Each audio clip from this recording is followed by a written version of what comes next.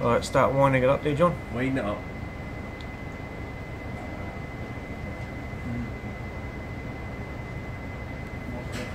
Right, slowly. Okay, this should start to crack there. Yeah. It's only at point, Point one four. point one four, just keep her going. Yeah. Alright, starting to open now.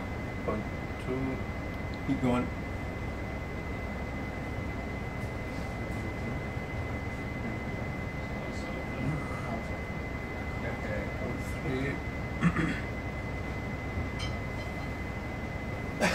what pressure you got there now It's 0.37. 0.37.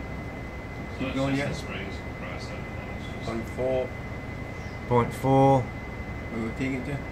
What are you taking it to? Uh, we can go 0.6. Okay. okay. 0.45. 0.45. We're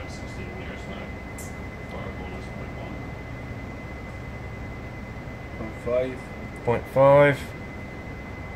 See, it's not really there. See it Yeah. Point five five.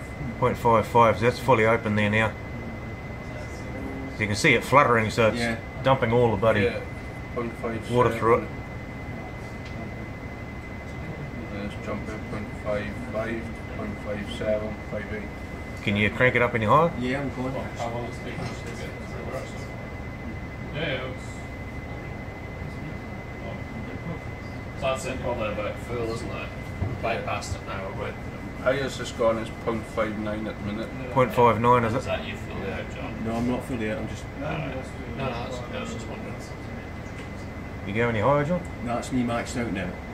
Okay. So you could go higher. That's you maxed out. Yeah, obviously, it's- Get the aux, yeah? yeah, but just be really careful. Hang on. No problem. 32 RPM, uh, 0.57, 104 cubic meters a Take it like 250. hour. Okay, you keep going, yeah? Yes. Increasing on the aux pump. What's it reading there now? Point, point Still five just the eight. same. Point five nine. That's fine, John, leave it at that. Joe, Yes. maybe you can uh, show the guys uh, some of the features. Oh, sorry, mate. I'll just get this on Yeah. thing here.